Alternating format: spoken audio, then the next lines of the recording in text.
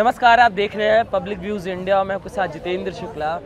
बात करेंगे असम सरकार की, जिन्होंने जनसंख्या को लेकर आखिरकार कदम उठाया है और इसमें कहा गया है कि 1 जनवरी 2021 से जिस भी व्यक्ति के दो से अधिक बच्चे होते हैं, उन्हें सरकारी नौकरी नहीं दी जाएगी। और अगर सरकारी नौकरी मिलने के बाद भी दो से अधिक बच्चे हो जाते हैं तो सरकारी नौकरी उनकी जा सकती है। इसी पर लेकर हम चर्चा करेंगे। इस समय हमारे साथ सुप्रीम कोर्ट के मान्य वकील और सामाजिक कार्यकर्ता यासिर जिलानी जी जुड़े हुए हैं। सर से जानेंगे सर के क्या विचार है इस जनसंख्या कानून को लेकर? सर सबसे पहले धन्यवाद आपका जुड़ने के लिए हमारे साथ जुड़ने के चैनल के लिए। सर ये इस पर भी सवाल उठाया जा रहा है सर। देखो भारत के अंदर समझना चाहिए भारत के लोगों को कि संसाधन बहुत सीमित है। हमारी भूमि के अंदर जो रिसोर्सेज हैं जो नेचुरल रिसोर्सेज हमारे भूमि से प्राप्त होती है हमारी खेती हमारे हमारा हमारा जो जल है वो बहुत धीरे धीरे कम होता जा रहा है। वो उसका कारण ये है कि हमारी आबादी जो हमारी जनसंख्या विस्फोट है, वो बहुत बड़े लेवल पे होती जा रही है। और तुम जंगलों का हाल देखो कि जंगल सीमित होते जा रहे हैं। जंगल, हम जंगल को काट के, कंक्रीट के जंगल तैयार कर रहे हैं।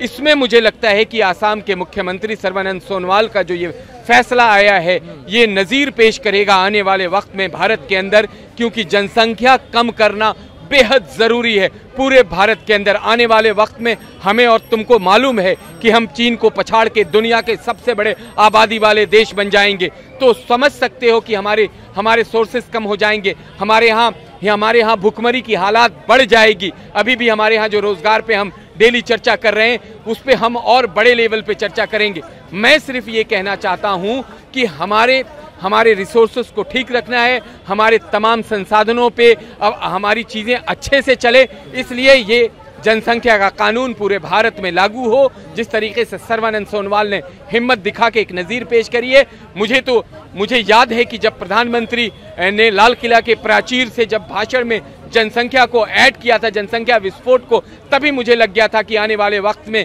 जिस तरीके के ऐतिहासिक फैसले वो करते हैं उसमें एक ऐतिहासिक फैसला जनसंख्या का भी होगा जो बहुत जल्दी होने जा रहा है। जी मगर सर बार बार जनसंख्या की जब बात उठती है तो कई जो नेता प्रतिगण है वो उस पर सवाल खड़े करने लग जाते हैं और कहते हैं कि इसे एक समुदाय विशेष के लिए ही सिर्फ़ इस देश में लाया जा रहा है। तो इस पर आपके क्या विचार है ये उनकी संकुचित और कुंठित मानसिकता का एक बहुत बड़ा उदाहरण बार बार होता है।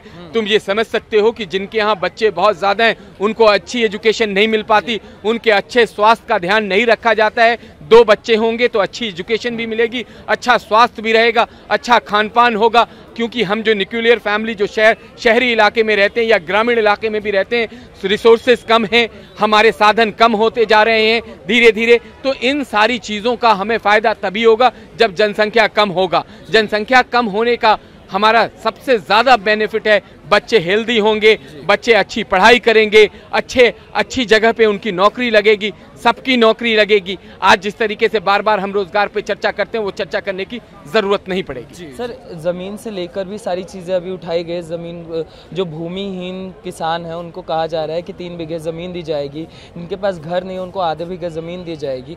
तो इस पर क्या विचार है सर कि और राज्यों को भी ये चीज़ें अपनाने की ज़रूरत है? क्योंकि ये स्वरोजगार मुझे ऐसा लगता है कि एक स्वरोजगार की तरफ़ सरकार का भी एक योजनाएँ भारत सरकार ने बहुत सारे राज्यों में पहले से भी लागू करी है लेकिन जो भूमिपुत्र हैं जिस राज्य के भूमि भूमिपुत्र जो वहाँ के रहते हैं मूल निवासी हैं अगर उन, उनको ज़मीन दी जाती है खेती अगर वो करते हैं उस पर काम करते हैं रोज़गार बढ़ेगा रोज़गार बढ़ेगा तो हालात अच्छे होंगे इसलिए ये कदम स्वागत योग्य है और मुझे लगता है कि और राज्य भी अगर इसको देख के इस तरह के इस तरह की योजनाएँ अपने राज्य में इम्प्लीमेंट करती है तो मुझे लगता है वहाँ भी जो एक हालात बहुत बिखरे हुए दिखाई दे रहे हैं। वो एक बंधे हुए दिखाई देंगे और मुझे लगता है कि सब के सब आ, लोग जो हैं वो इस मेन स्ट्रीम में आके एक अपने आप को कहीं ना कहीं रिप्रेजेंट करते हुए दिखाई देंगे। और और जो आजकल हम बार बार विपक्ष से ये सुनते हैं कि हमें ये प्रॉब्लम हो रही है वो प्रॉब्लम हो रही है और एक पहचान भी भारत की भारतीयता की बहुत बड़े पैमाने पे दुनिया में लोग इसको जानेंगे समझेंगे जब हम समृद्ध होंगे।